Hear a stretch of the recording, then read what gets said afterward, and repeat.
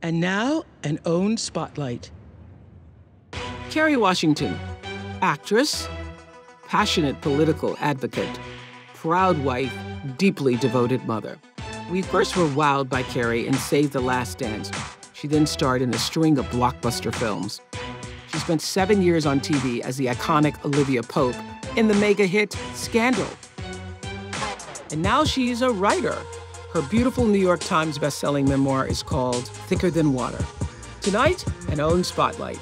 My delightful conversation with Miss Kerry, and I think she is just lit up from within and really coming into her own. I feel just wholly like a different person.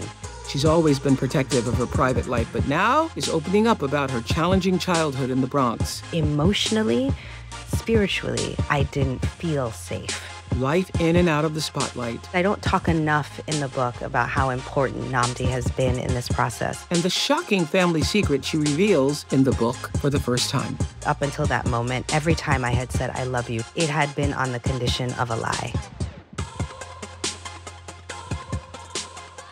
Hi to everybody watching us on OWN. I'm here in my tea house, which is one of my favorite places to read. And I'm here with the gorgeous and talented and oh so ever smart, smart with a T, Kerry Washington. Oh. It's been such a joy for me to watch you rise as an actress uh, in all those iconic roles. Thank I was just saying uh, to Kerry that she hadn't been here to my house. It's now been almost nine years because you were here when With Isabel. Isabel was just a baby. Mm-hmm. So much so, y'all. I remember this so distinctly, and I had two of my other South African daughter girls. We, we were all in awe of you mm. as a mother, and we talked about you after you left. The girls had tears in their eyes because they were like, "Who would we be if we'd had a mother like that?" Mm. Because your care, your attention, your I remember we were driving around in a cart on the property and you were explaining every little bump and hump and lump. So you did that. You've been doing that their whole lives. Yeah, I, oh, that means so much to me because people always say, like, what's your favorite role you've ever played? And I really mean it. My favorite role I've ever played is the one I have in this lifetime as mother and wife. Like, that's it. That's everything for me. And I really feel like I'm their ambassadors. Like, I'm not here to mold them or sculpt them. And a lot of this is because of Dr. Shefali, who I Yes. was introduced to by you. Yes. Um, and that idea of I'm not here to make them better, they're here to make me better for them, right? Like I'm here to support their evolution and just translate the world to them. Yes. Well, I would have to say that Dr. Shefali's book, Unconscious Parenting, which I give to everybody who's Yes. having a child that I care about, Yes. that I think can take it in, and you took it in seriously. I absorbed every Absorbed it. paragraph, every comma, every sentence. And what was the thing that really made you see your parenting role differently after reading that? I think what I realized in reading that book was that it is a requirement in parenting to be willing to be uncomfortable mm-hmm. in order to allow your child to grow. It's a requirement to ask yourself what you need to do better for them, not what they need to do better for you. And I'm watching my own parents in this moment, my father especially. You know, when you ask my dad about the book, he says, it's not the book I would have written, right? Which Right, I sure. very much understand and respect. But he also says he's so proud of me and he supports me and he understands why I had to write this book. So I'm watching my parents allow themselves to be uncomfortable in order for me to have this process as their child. And it's such a powerful example of good Mm. parenting. Well, so the book is The Memoir, Yeah. Thicker Than Water. Great title. when did you, know it was going to be called that? I kept finding myself translating this experience that I was going through with my family. And as I would describe kind of what I was learning about my relationship with my parents, I kept saying, I know that we say that blood is thicker than water, but I think that love must be thicker than blood. And so that that phrase kept Speak it. coming up for That's me. it. And then when I was talking to Trevor Noah about the title, he said, Well, you know, the real phrase from the Bible, it's really the water of the womb doesn't compare to the blood of the covenant. So it really is like the blood of our agreements is more important than our relations. So it, it, it is very much the fact of my life and my relationship with my family. You write that this book is the result of my attempts to make sense of myself and my family and to accept the truth about who we are. I've written this account to more fully understand this truth, to affirm it, and to embrace it. This truth has given birth to a deeper compassion and love for my parents and for myself, and I share it with you because I do not want to hide. What does this moment of no longer hiding feel like? It feels like freedom. It feels like permission to take on this new adventure Yeah. Of like really knowing myself and being myself, like an integrated version of myself. So you you know one of my favorite quotes is from Eckhart Tolle who says that life will give you exactly the experience you need at any time for Mm. The evolution of your consciousness. Yes. And how do you know that's the experience you need? Because it's the experience. You get. Yes. Yes. I love that. Yes. So I wonder how did your own consciousness Mm-hmm. evolve in the writing of this book? Oh my goodness. I, I in so many ways. But I I think, oh God, where do I how do I even begin to answer that? Because I feel just wholly like a different person. Um, I think my family was ready to grapple with truth. We were ready to step into a deeper connection with each other. And we were forced to because they were kind of forced to share this revelatory news with me. Yes. And it inspired family therapy. I mean, my parents and me and my husband, we all went into therapy for a while. We just had to deep dive and Okay, get so to know each other Let's better. tell the people because they're going, huh? What, are they talking about? What are you talking about? Yeah. So I got a text, Text, five years ago. I was driving in Los Angeles and I got a text that said, We need to talk, which is a little different for my family because we talk, but we don't talk. And so I thought, okay, somebody's maybe in legal trouble or financial trouble, Yeah. or maybe somebody's not well, or, you know, maybe there's something like that. Those were, those were the other secrets that had been unfolding in my family over Correct. the decades. But when I walked in, they were very quiet, very serious.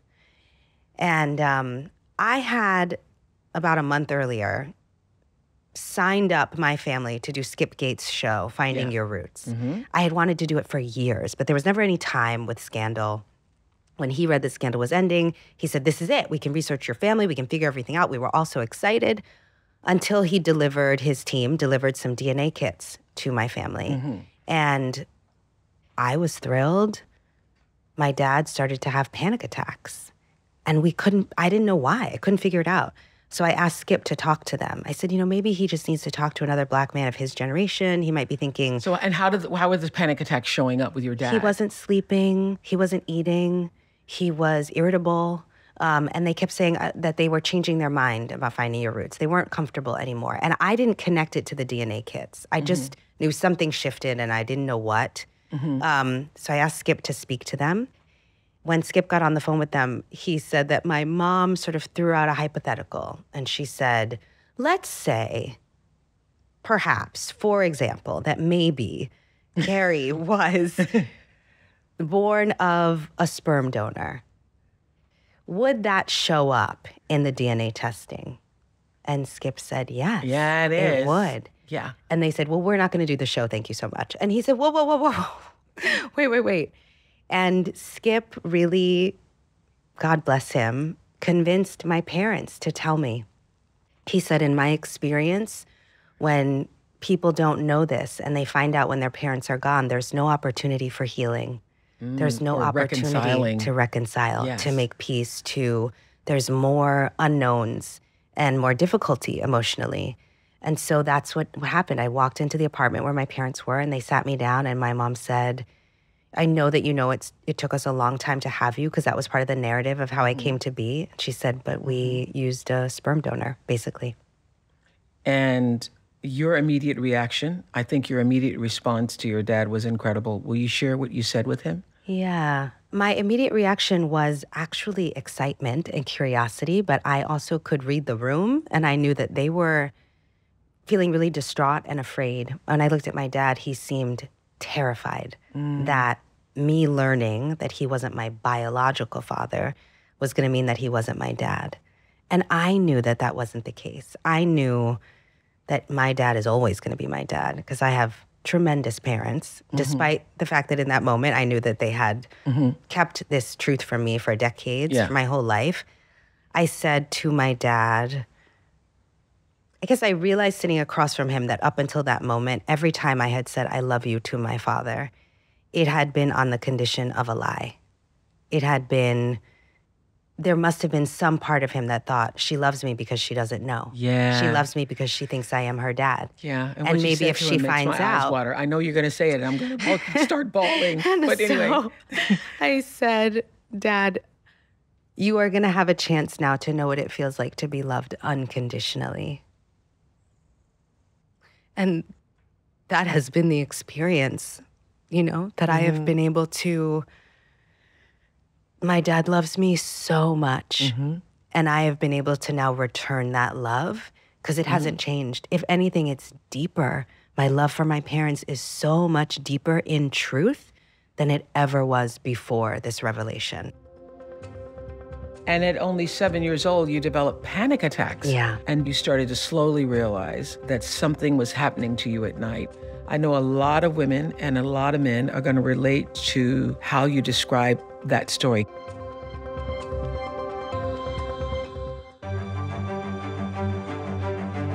And what is so interesting that you write so beautifully about in Thicker Than Water is that you always had a hint of a space Yeah. Between you and your parents. Yeah. What has been the the spiritual lesson that you learned in the wake of this incredible revelation? I think one of the most important things I learned was to trust myself again. Mm. Because I did feel that there was a space. I felt that there was something being withheld from me. I felt that there was something going on that I didn't understand. And because I didn't know what I didn't know, Right. I always blamed myself. I Right. you- thought so you can't articulate it. I couldn't so- articulate as a small as a small child. You know, you fill in the gaps with it must have been me, right? So Yes. I have to do better, be better, be smarter, get better grades, achieve more, be prettier, be thinner, be I just I was always trying to twist myself into a pretzel because I thought that I was the problem. And meanwhile, everyone was saying like nothing's wrong. This we're this picture book family. Everything's great. And so I think one of the things that my parents gave to me when they shared this truth with me was they gave me back a relationship with my intuitive self. Yeah. They gave me back a pathway to believe my thoughts and to trust myself and to know that I actually can manage the truth. Like there was a mm. part of them that thought this family can't handle the truth. We're going to keep the It was very loving. You know, my parents made this choice to keep this information from me out of love. They weren't Yes. trying to be cruel. Absolutely. But there but the implication was this family can't handle the truth. And by them sharing this information, we've all gotten to see that we actually can do hard things. We can handle the truth. What's so interesting to me too is when I first started reading the book, I was like, this looks like the perfect black life to me. Hmm. This looks like. Yeah. exactly how I wish I'd grown American up. American dream. I mean, it's the Yeah. American dream. You had a pool card, We for did. God's sakes. You had a pool card. You were going to We did. We had a neighborhood pool and a had a pool neighborhood card, pool and and we had two card, cars, and you had two cars, a cabin in upstate New York. And your dad's getting another car every mm-hmm. year. And the whole when everybody comes we had to- the first microwave in the building, I think. Yeah. Yes. And so to me, as an observer, I'm thinking, well, this is, looks like a pretty good life. And okay, so they have arguments sometimes. But what one of the things that really uh, impressed me is that you never know what's going on in somebody else's story. And that what looks like one thing from the outside to us, the feelings that you, as a young girl, feeling the pressure of all that. I love what you write on page 51 to a child of color. The message was clear. You had to be exceptional. You could either be excellent or require special needs, otherwise, you'd get lost. Mm. hmm. Yeah, I, I love that phrase, you know, don't compare your insides with other people's outsides. yes. That idea that we just, we don't know. We don't know what other people are going through. And I, I felt that pressure. And I think now, as I look back on it, in some ways, when we, especially as Black women, as women of color, when we learn to navigate that pressure early on, it does in some ways serve us because that pressure doesn't lessen as we get older. Yeah. But I think what I've learned is that the need to be exceptional, that I can have a different kind of relationship with it, right? That it doesn't have to be a perfectionism that debilitates me. That now I can try to channel it into ambition, but still be kind to myself along the way. And it's so interesting. Your parents were doing the thing that they thought uh, the, all along in this book. I just applaud your parents because I was saying they're doing the best They they, know how. are. They are are. doing the best they know how. You say there was yelling and crying, but only when they thought I was asleep. The next morning they'd smile and pretend all was fine. So I too learned to smile, to cover for them, to pretend, to resist the call, to see what was really going on. But something was still off, and I blamed myself. So it's just so interesting. I remember years ago doing a show with Dr. Phil who said, whenever you argue in front of your children or your children hear you arguing, it changes who they are. It changes who, they, are. Yes. You would have been one way and Mm. you become something else because then, just as you were in the middle of trying to navigate and negotiate and to make it okay, the child takes on the responsibility of thinking, I gotta make it better. That's right. Yes. And I think I was, as you point out, I was safe in so many ways. I was taken care of materially. We had enough money, basically. I was mm-hmm. fed well. You know, I was safe in many ways, but emotionally, spiritually, I didn't feel safe. And I think that's important for us to think about. I think about it as a parent. I think about it for myself today. You know, you can have lots of things, but it's the work, the emotional work, the spiritual work that really defines my existence. Well, the thing that also led to you being such a great actress is your ability to be an empath. And so you would be the one in the family who's absorbing, Absorbing. all of Yeah. the energy that's going on in the household. And in your little child brain, this is for everybody who's raising children, they're interpreting it, but it always becomes about you. Yeah. Because you you're not it's the only thing they it's the only thing you th- I was going to say it's the only thing you can control, but as a child it's the only thing you think you can control. That's right. Is yourself. You know you can't fix the marriage, but you think if if I can fix me, other things will get better too. Mm-hmm. You go on to say that they both harbored deep disappointment over what their lives had become. My mother was disappointed in my dad, my dad was disappointed in the marriage. I had the sense that I was the only thing keeping them together or that I had to try to be. And that is such an enormous amount of pressure on a child. And that be- began to shape your view of yourself in the world. Yeah. Yeah. But I know I wouldn't be who I am today if I hadn't learned to navigate that pressure early on. I mean, in some ways, Olivia Pope is that little girl. She thinks she can fix every situation. She's the fixer. It's up to her to save Mm. Yes, everything. yes, so yes, there was yes, yes. something about that character and that world that You that I later on. Mm-hmm. understood so specifically. Yeah. And at only seven years old, you developed panic attacks. Yeah. They manifested first, you said, as a kind of rhythm of anxiety that encircled your brain. Can you describe that? Yeah, it was uh, at night, and I know I describe it as kind of a whirling, swirling. It was like a rhythm that lived Yeah. inside me, and it was like this nagging, consistent, constant uh, pattern. It was very hard to describe, um, but it was small enough that it felt like it was in every cell of my being, and big enough that I felt like I, it, it could swallow me whole. Yeah, I was going to say at seven years old, that would be overwhelming. Yeah. Yeah. And during the same time, you started to slowly realize that something was happening to you at night. I mm-hmm. mean, when I turned the page and I went, oh, oh, oh, is that mm. coming too? Is mm. that coming too?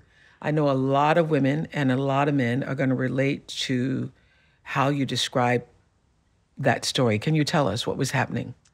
Yeah, I had this sense that Are you comfortable sharing it? Yeah. Yeah, yeah. been- okay. Um, I had this sense that something was happening at night, but I didn't know what it was. So it was again this a kind of repetition of this pattern of there are dynamics I don't understand that are bigger than me, and I can't control them. And I, uh, I stayed up late one night. We used to have these like big sleepovers with neighborhood Mm-hmm. kids, and I stayed up to catch this kid in, in the neighborhood who was touching me at night. So explain. You were at a sleepover Yeah. And you had started to sense that something was happening at night, Yeah. but not sure were you dreaming Yeah. Mm-hmm. or was it a part of the whole panicky thing? And then one night you stayed up One while all the kids are in the room, yeah, Mhm. And sleeping. and I catch this person in the act of attempting to touch me because he thinks that I'm sleeping. And you know, as I'm saying it to you, one of the things that happened in that moment, and I know I write about this, is that it was a glimpse of that idea that happened later for me with my parents of I was right. Because I had approached him earlier and said, Is something happening at night? And he told me I was crazy. And so when I caught him, I knew I wasn't crazy. But I made the decision to not tell anyone. Um, and so that for me was the beginning of a whole new journey.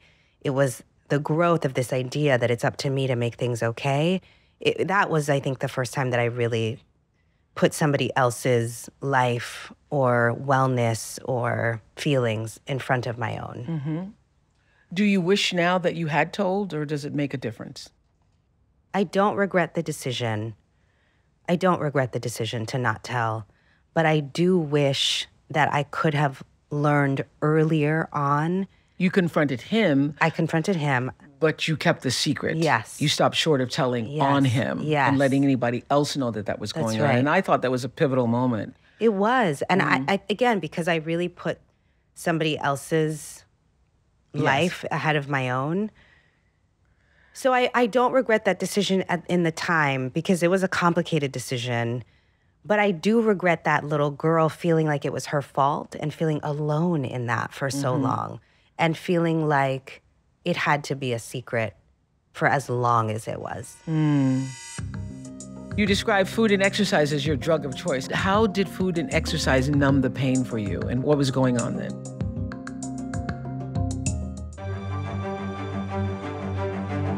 You say that acting in many ways saved your life. Yeah. Tell us why. I think because on stage, I got to be big. I got to be.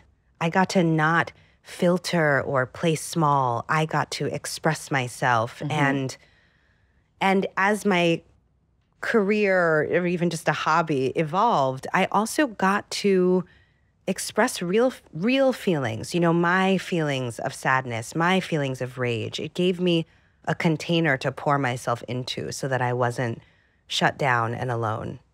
And you write on page 141, you say that by the time you got to college, that your relationship with food and your body had become a toxic cycle of self abuse that utilized the tools of starvation, binge eating, and compulsive exercise. Do you know anything about that?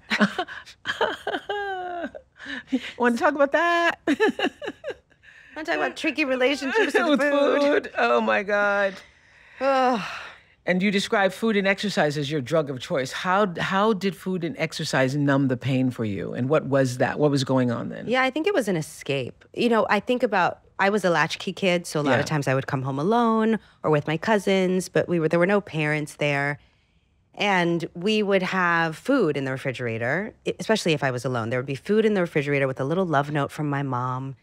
And that became food became my friend. It became a way for me Food is love. out of boredom, Yes. out of loneliness, out of discomfort. I just remember going back to the refrigerator again and again and again. And um, that compulsion to kind of eat in order to escape and in order to numb was coupled with this perfectionism of needing to look perfect and be perfect. And so it was this cycle of, you know, eat too much and then exercise too much, or eat too much and then starve too much. And as if there's a starve enough, just starve, period. Um, so it, it was, it was a really toxic cycle. And you write, I was at war with myself. There seemed to be no escape from the demons. That hopelessness and agony led to thoughts of suicide, and I started to realize I couldn't fix this on my own. Let's talk about that night in college where you got down on your knees mm. and made a plea to God. What had been your spiritual life up until that point, and what did you ask for? So up until that point, you know, we were we were a good West Indian family, you know, so we went to an Episcopal church. and we we went to our Anglican Episcopal church on holidays, you know, mm-hmm. and occasionally on Sundays. I didn't have an intimate relationship with God. Church was an institution for me, and prayers mm. were music. It was culture. It was culture, but it wasn't belief. So we ah. prayed, but I didn't have the, my heart was never in it. These was were ritual. It was tradition and It was ritual. ritual. That's It right. ritual. We said grace. Mm-hmm. Um, I loved a candlelit mass. I loved the environment of being in a mm-hmm. church. But you hadn't been brought to your knees. That's right. Yeah. That's right. And I think I think that was part of my loneliness also, that I hadn't ever had an intimate relationship with spirit to fill that those spaces when I mm-hmm. needed them, when I needed them filled. So the first time I got on my knees in that room, in that dorm room, I had just asked for help. I just wanted my life to be about something other than my body and food. I wanted to wake up and be able to have bigger thoughts, to have more on my heart and my because mind. you were consumed by this I was thing. consumed. Yes. I was maintaining a GPA to keep my scholarship. I was starring in all the college plays. So I had these places that required my focus. And and again, that's why theater saved my life because being on stage gave me a place to be human. Yeah, and to but if I wasn't attention- on stage, if I wasn't in rehearsal, my whole world consisted of trying to perfect my body and then trying to sabotage myself with food, hurt myself with food or exercise. And so it's that bringing you to your knees moment. Mm-hmm. Did things change immediately? There is something about that posture of submission that humbled me, that made me realize that even though I was the only child who thought I could fix everything, and even though I thought I was the solution to all my parents' problems, even though I thought I could be perfect in order to make everything better, that I actually was not in charge. That hmm. I needed something bigger, than, me mm-hmm. to step in and help me. And I didn't know what it was, but I knew I needed something. I knew I needed help. Mm. And that is when I started. The next morning, something did shift because I started asking for help. Like that moment of humility gave me the willingness to call the college clinic and make an appointment with a therapist for the first time and to reach out about group therapy situations and to just seek help outside myself. Hmm. Would you say that was one of your greatest awakenings, or was it a great awakening? Huge. It was a major turning point for me. So it took God from the abstract and the candles and the ritual to something that was real and meaningful for you. Yeah, and I still love ritual. Yeah. But it meant it grounded the ritual in belief. It mm. meant that the ritual was not just I'm lighting a candle because you're supposed to light a candle. I was lighting a candle to take the time to make the space for a relationship that was important to me, and that mm. relationship was with God. So it mm. shifted that dynamic. And I started really leaning into God in my recovery and asking for that help there's no sort of legal rights that I have in terms of figuring out who my sperm donor is. I'm on a search and I, I know that I'll find that person. I 'cause believe have the you best and Olivia. Pope together. exactly. You and Olivia Pope are gonna find him.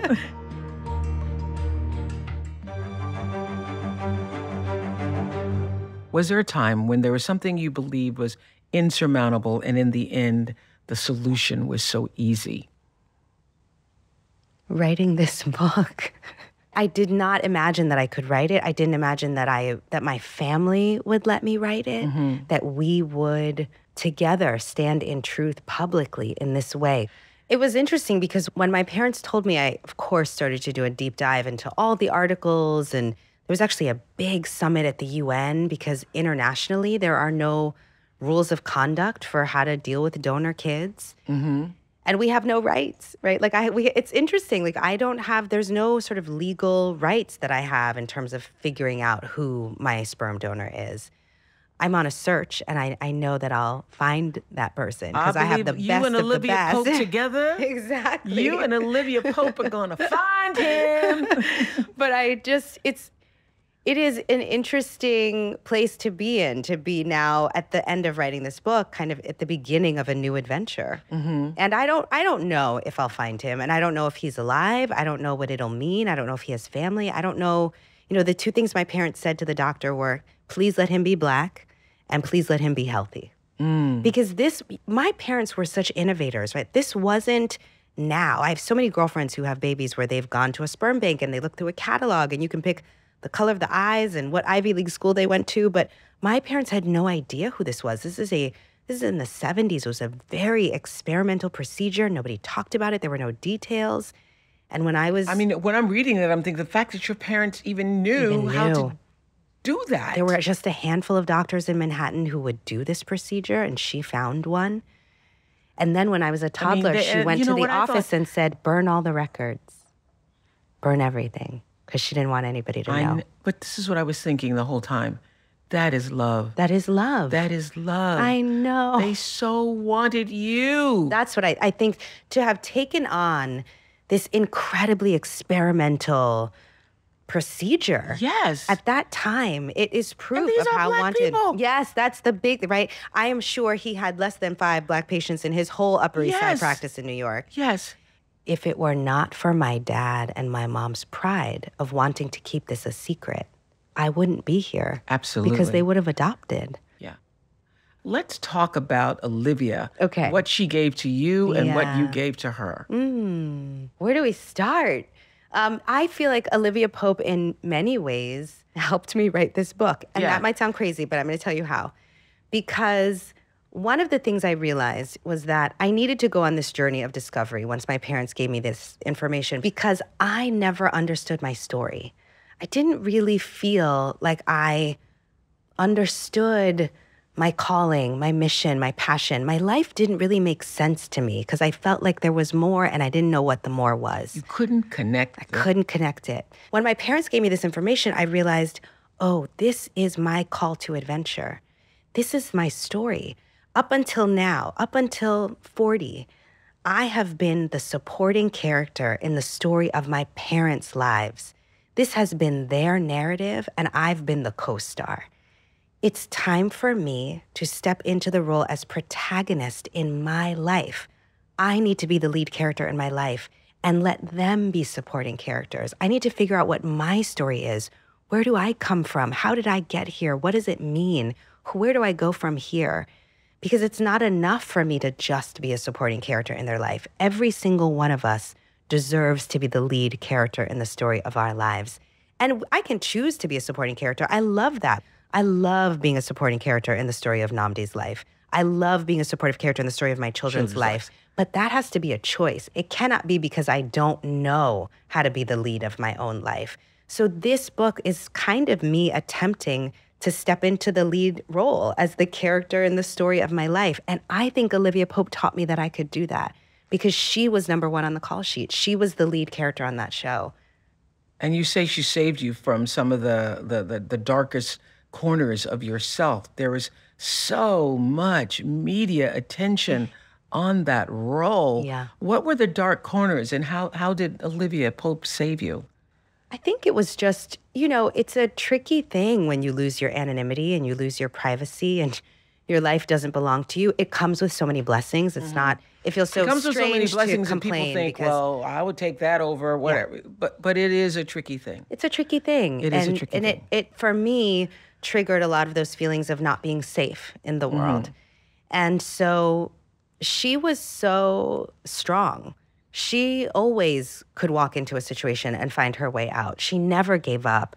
And she always felt like she had what it took to be the solution to any problem. And I feel like she helped me feel more capable. Well, you have just become so wise. I mean, that whole quote about being the lead character of your own life, I'm thinking, that's another book. There, being the lead character of your own life. Hmm.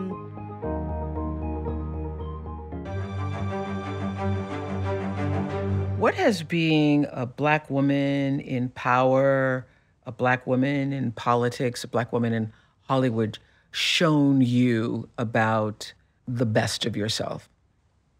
Wow. When I think about those three areas power and politics and Hollywood mm-hmm. I think whenever I'm able to capture a glimpse of the best of myself, it's because I'm actually not focused on myself. Hmm. It's because I'm focused on service and how I can be of service in a moment, whether it's in service to my scene partner, in service to the community around voting, in service to, in whatever way. That for me is when I'm finding my best self, hmm. which I think is why it's tricky that balance between stepping into being the lead character of your own life, but then also letting that not become narcissism, right? That you're you're the lead character of your own life because you get to live the life of your calling, mm-hmm. but let that calling be of service as well. Wow. Well, you have just become so wise. I mean, that whole quote about being the lead character of your own life, I'm thinking, that's another book. right there, being the lead character of your own life. Mm-hmm. Yes. Mm-hmm. You've stepped into it yeah. in a way that just being in your presence, I feel an ownership that you've taken of yourself Yeah. that hasn't been here before. Thank you for saying that. I feel it too. I I, can I, s- I I've been at it, tables with you before where I feel like, do I deserve to be here? Is it okay to be here? Am I going to say the right thing? And not feeling comfortable just in my being. Uh huh. I feel like that's what my parents gave me. My Mm. parents have given me a gift, a, a pathway back to myself. Wow. Yeah. And what has marriage taught you about mm. yourself? Has it humbled you? Has it frustrated mm. you, inspired you? In some ways, I don't talk enough in the book about how important Nnamdi has been in this process. That he really has. He's been in that those family therapy sessions with me and my parents. He's been my partner through all Because you of called him after the call. I called him right after that call, text. right? Say, what, what is this texting. about? What is Yes. it? And then said to him, you know, he's the first person I told, Yes. of course. So I, I'm just grateful to have a partner. And you know, Nnamdi's such an extraordinary person. Yes, yes, yes, yes. Yeah. You know, one of the things I feel when I'm with the two of you and just watching from the outside in, don't, not knowing, reminds me of something Gary Zukav shared with me years ago about the difference between marriage and a spiritual partnership. And he says, spiritual partnership is a partnership between equals for the purpose of spiritual growth. And what I see in mm.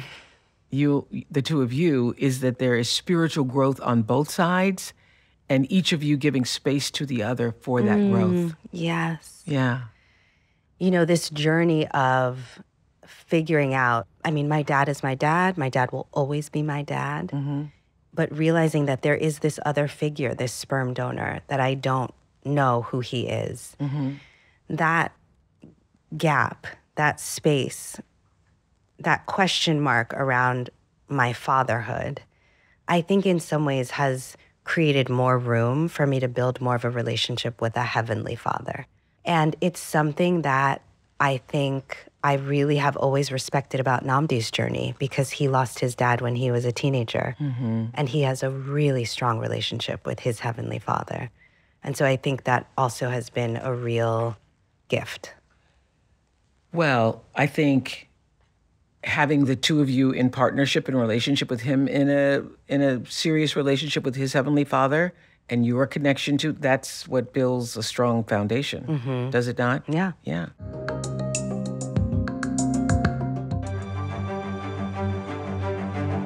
Thicker Than Water, you write, The water is the one place where my family is always at peace. you go on to say that blood may be thicker than water, but what you said at the beginning here, love is thicker than blood. I just love those lines. So, are you and your family at peace now, both in and out of the water? Hmm. Yes, but peace is not always simple, right? Like when people ask my dad about the book, he he he'll tell you this is not the book he would have written, right? This I can see this why. is not this is not the book my mother would have written necessarily. You know, my mom just told some of her closest friends recently in the last couple of months, knowing that the book was going to come out. Mm-hmm. So this is not what they would have done, the way they would have done it. Of course not. No. But we've agreed to disagree about certain things. We've agreed to hold hands and support each other. We've agreed to walk this path which with love and respect. So I think we are at peace. And it's not the kind of fake peace where everybody has to think the same and look the same and be the same. Or pretending. That's right. It's a peace that comes from I'm going to give you space to be you, and you're going to give me space to be me, and we can be in this together with love. And what my father has said to me, what my dad has said that is so meaningful, is that he always says, I trust you. That's that has been the big thing that he has said, you know, since the revelation there's been so many things that have made him uncomfortable. He didn't want me to take a DNA test. He was like, Why do we need a D- DNA test? I don't want to know that information. You're mine, I'm yours, end of story. And I was like, I'm yours, end of mine, not end of story, right? There's more Yeah. to it. Yeah. But he's been willing to walk this journey with me. And I think it's so generous. It's so generous that he'll say, I trust you. Hmm. Yeah. Before we go, would you mind reading us one of the final passages from Thicker Than Water? I would be honored. I have always felt in my relationship with my parents and in life in general that I haven't trusted what I'm looking at, never fully believing what I'm seeing. It's true for sound, too. I can still hear things while underwater, but there's a chamber of silence, of the unknown, between the world above the surface and me. I find healing when I'm in water because the one voice I hear clearly is my own. Now, I didn't end that with the word own just for you, but that's pretty amazing. Can't have a better ending here on OWN. Thank you, Kerry Washington. Thank you so much. Thank you. That was you. beautiful.